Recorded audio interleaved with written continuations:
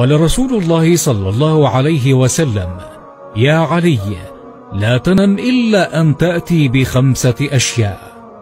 أولا قراءة القرآن كله. ثانيا التصدق بأربعة آلاف درهم.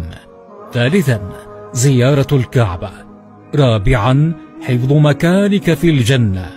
خامسا إرضاء الخصوم. قال علي كيف ذلك يا رسول الله؟ قال أولا إذا قرأت سورة الإخلاص ثلاث مرات فقد قرأت القرآن كله. ثانيا إذا قرأت الفاتحة ثلاث مرات وقد تصدقت بأربعة آلاف درهم. ثالثا وإذا قلت لا إله إلا الله وحده لا شريك له له الملك وله الحمد يحيي ويميت وهو على كل شيء قدير عشر مرات فقد زرت الكعبة.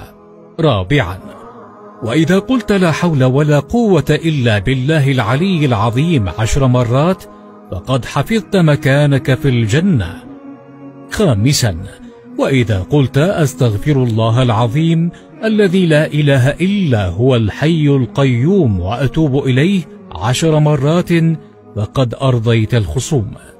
ولتعلم من يقرأ بأن الله يراك ولتختبر قوة إيمانك ومدى تأثير الشيطان ولتعلم بأن إعادة إرسالها لن يكلفك الشيء الكثير بل سيزيد من أجرك وأنها لصدقة جارية تنفعك يوم لا ينفع مال ولا بنون.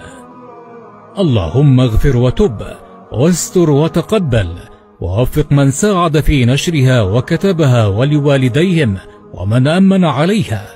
يا حي يا قيوم أنر وجوههم وزدهم إيمانا واستر عليهم في الدنيا ويوم العرض. اللهم آمين. آمين.